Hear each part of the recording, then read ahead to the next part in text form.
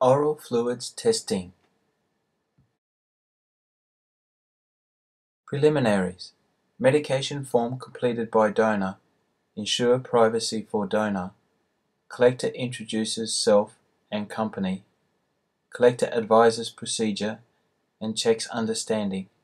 Conduct pre-test observations and questions. Consent form read, understood and signed by donor. Collector dons gloves, lays out bluey, offers donor gloves, requests donor to open mouth for inspection, offers donor test and requests use of test device to obtain specimen collection. Oral fluids collection. Donor places test in mouth and collects until pink tinged oral fluids reach blue capping line. Replaces blue cap on test and lays test on bluey. Remains throughout entire procedure.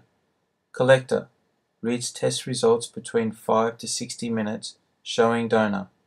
Records results in permanent record book. Negative results. Collector thank donor and wish them well. Request disposal or oral fluids test, etc. in biohazard bin or bag. Advise donor to wash hands and return to workplace. Unconfirmed results. Collector. Record results for collector and employer and donor. Contact workplace supervisor immediately. Request a second sample from donor. Use tweezers to extract both wicks from test placing wicks in individual containers of buffer solution. Label both specifying plus four others as oral fluids. Mark both labels plus four others with date and time of test. Collector. Ensure lids are fitted correctly. Ensure label details all match. Seal each container. Have donor sign all security seals.